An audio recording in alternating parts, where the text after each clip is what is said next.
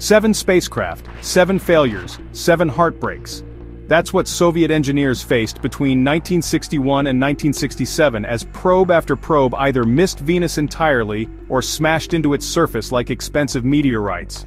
Venera 1 lost contact just seven days into its journey, a $50 million piece of space junk tumbling through the void.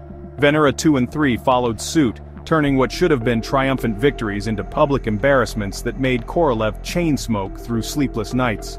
But here's the thing about Soviet engineers, they were stubborn as hell. Each failure only made them angrier, more determined to crack Venus's secrets.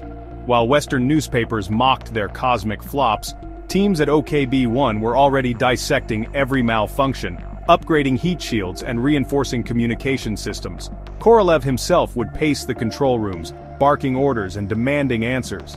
Why did the antenna fail? Why couldn't we hold the signal? What killed the batteries? The pressure was crushing. Every failed mission meant explaining to Khrushchev why millions of rubles had vanished into space. Engineers worked 18-hour shifts, knowing that their careers and possibly their freedom depended on the next launch. 1967 became their make-or-break year. They had one more chance with Venera 4, and this time they weren't just hoping to reach Venus, they were planning to survive its hellish embrace. The probe was built like a tank, designed to withstand pressures that would crush a submarine and temperatures that could melt copper failure was no longer an option.